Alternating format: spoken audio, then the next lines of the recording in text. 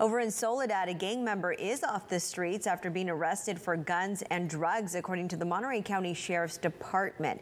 Deputies say they served a search warrant at the home of 35-year-old Francisco Galvan earlier this month. And during their investigation, they found multiple guns and a large number of drugs, including meth, cocaine, heroin, and what they believe to be M30 fentanyl pills. They also found a large amount of money.